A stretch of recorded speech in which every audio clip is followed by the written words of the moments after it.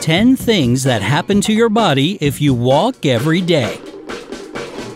The great Greek physician Hippocrates once said, Walking is a man's best medicine. Well, he hit the nail right on the head with that one.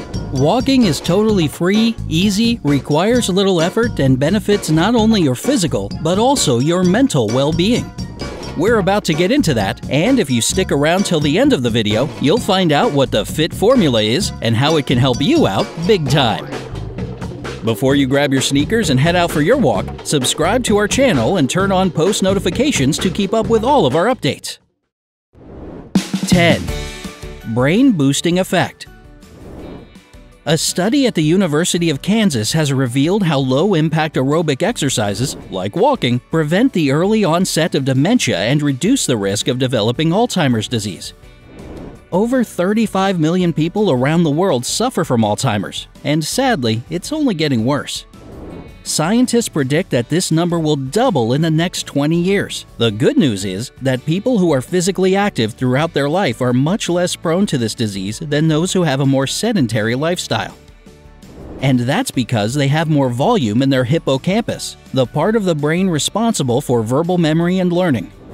Plus, walking improves your overall mental well being by reducing stress and releasing endorphins. It stimulates not only the production of chemicals responsible for brain health, but also the growth and survival of neural blood vessels and cells. 9. Improved eyesight. Surprising, right? Moving your legs helps your eyes. How in the heck do they have anything to do with each other? Well, first off, walking can help fight glaucoma by relieving eye pressure. You see, glaucoma develops when too much fluid builds up in the eye, increasing the pressure inside. That pressure, in turn, affects the optic nerve, which results in visual impairment. The Glaucoma Research Foundation recommends walking as one of the best ways to reduce the risk of developing glaucoma and even relieve its symptoms. If you think you're way too young to start worrying about glaucoma, you should know that walking is good for eyesight in general. Both low and high intensity exercise strengthens and stimulates the visual cortex, that part of the brain that processes the images our eyes send to it. So get on the road to improved vision and protect your eyes now from potential problems in the future. 8. Prevention of heart disease. You're probably well aware of the fact that running makes your heart stronger. But according to the American Heart Association, walking is no less effective than running when it comes to the prevention of heart disease and stroke. A daily half hour walk helps avoid serious problems, like coronary heart disease, to name one, by lowering high blood pressure and cholesterol levels and improving blood circulation. 7. Increased lung volume. Walking is an aerobic exercise, which means that it increases oxygen flow in the bloodstream and helps eliminate toxins and waste. In short, it's great for your lungs. Because of better quality and deeper breathing, some symptoms associated with lung disease can show significant improvement. The stress and medication that lung disease brings with it weaken the immune system of those suffering from it. We all know that spending time outdoors is a great immunity booster, so why wouldn't you start walking every day? 6.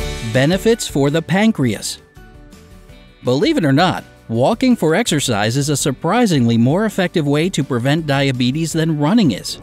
In a Duke University study, over a six month trial period, a group of frequent walkers demonstrated a six times greater improvement in glucose tolerance, or blood sugar absorption, than a group of runners.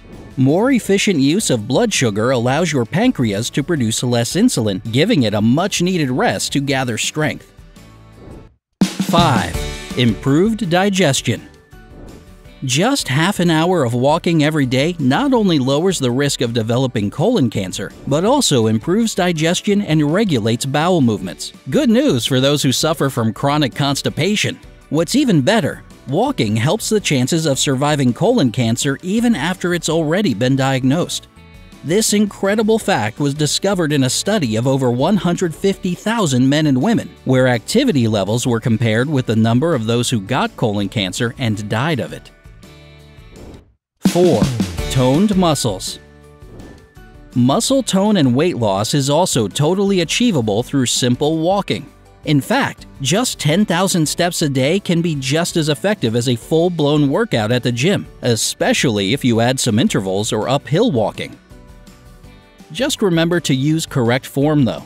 Keep your spine straight, bend your elbows at a 90 degree angle, swing your arms, and stabilize your pelvis. Find your optimal pace, but don't break out into a jog. This sort of speed walking is low impact and doesn't require any recovery time which means no sore muscles to keep you from getting out and walking the next day. Thumbs up if that sounds like something you're game for. 3. Sturdier bones and joints. Walking can provide more joint mobility, prevent the loss of bone density, and even reduce the risk of fractures. The Arthritis Foundation recommends at least 30 minutes of moderate walking a day to reduce pain, stiffness, and inflammation in the joints. Building strong bones will help you prevent osteoporosis and reduce bone loss. 2. Back pain relief. Yet another ailment walking can cure is back pain. This is a real lifesaver for those who experience back pain during more challenging high impact exercises. Since it's a low impact activity, it won't cause more pain or discomfort like running or HIIT would. Walking contributes to better blood circulation within the spinal structures, pumping important nutrients into the soft tissues and improving posture and flexibility, both of which are vital for a healthy spine. As you walk, you make your spine more stable and strengthen the muscles that keep your body upright. And hey, with better posture comes a few added inches to your height. Yes, my basketball career will finally take off. No? Fine, I can dream, can't I? 1. A calmer mind. If mind and body are connected like they say, then this point is right at home on our list. The Journal of Psychiatric Research published the results of a study on 50 individuals suffering from major depression.